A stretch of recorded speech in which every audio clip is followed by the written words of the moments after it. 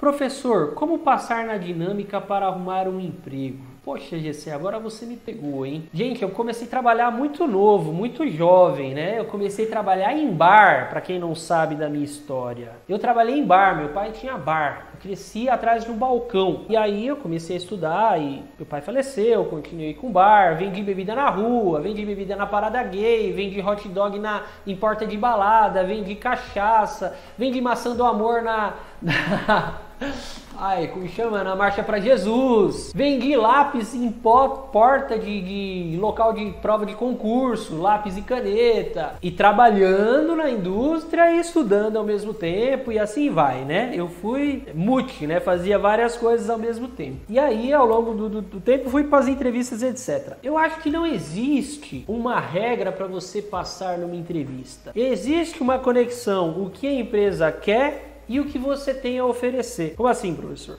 Você pode ser um cara da NASA. Se eu não estou precisando de um cara da NASA, para mim você não importa. Você pode não ser um cara da NASA, um cara que só sabe A. E eu estou precisando justamente de uma pessoa que saiba A.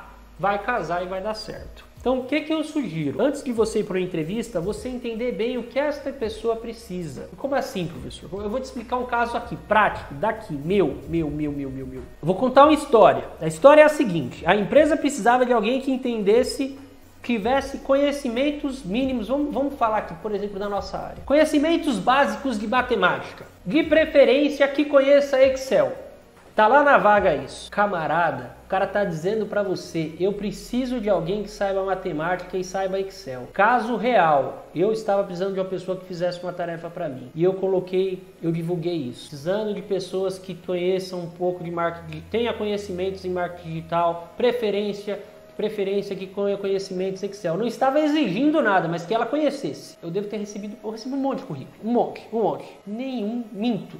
Dois falava de Excel. Dois falava de Excel. Dois, eu estou dizendo lá que eu preciso de Excel. Como você coloca? Ou você não sabe. Se a pessoa não sabe, ela não tem que colocar mesmo. Agora, se você já vê que quando eu procurava emprego, eu não tinha um currículo. Eu tinha um currículo por cada vaga. Puta, o cara aqui ele está falando que ele precisa de Excel. Eu, eu sei que coloco, eu, eu sei Excel eu vou lá e coloco no meu currículo, ó, conhecimento nas funções tais, função PROC-V, função isso, função aquilo, já desenvolvi um projeto fazendo isso, isso isso, Excel. Putz, na hora que eu receber esse currículo, ia ficar encantado. Puxa, esse cara, eu leio o currículo e vejo assim, nossa, esse cara está mostrando para mim que ele entende do assunto. Não é colocar lá conhecimento pacote Office. Uma bosta, uma bosta. Isso é a pior coisa que você pode colocar é isso. É, conhecimento pacote Office. Uma bosta. Tá bom, para mim é a mesma coisa falar que não sabe nada, não sabe nada. Veja o que a empresa precisa. Se você tem conhecimentos relacionados ao que a empresa precisa, destaque esses conhecimentos. A outra empresa fala que o, ela precisa de alguém para fazer apresentação no PowerPoint. Olha, já desenvolvi projetos fazendo apresentações no PowerPoint. Inclusive, tá aqui o link de uma apresentação que eu fiz que está na internet aqui, ó. Tá aqui. Ah, conhecimentos em SolidWorks. Beleza? faz umas pecinhas no SolidWorks, coloca no Google Drive, ó, sei fazer isso, isso e isso. Já coloca até umas fotos do seu currículo. Cara, o cara que vai avaliar o teu currículo, se for tecnicamente, ele quer saber se você vai dar match, se vai dar Tinder lá, sabe? Tinder, um combina com o outro. Eu quero A, tô procurando A, quero encontrar A, não quero encontrar B. Beleza? É lógico que tem outros fatores que envolvem isso, né? Existe a personalidade da pessoa na hora, às vezes tem um psicólogo lá dentro que está vendo até seus movimentos, para ver se você está dizendo verdade ou se está mentindo, se você está nervoso ou não.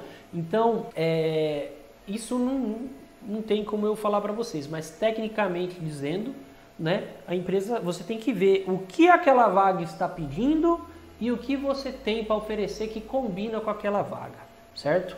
Não tem um currículo genérico para entregar para todo mundo. Dá trabalho? Dá trabalho, mas é assim, é assim. Eu passava o dia inteiro na Lan House, meu camarada. Lan House, ainda existe isso, Lan House, fazendo currículo lá no Cato. Cato. Uh, tinha plano na Cato. Tem que correr atrás, certo?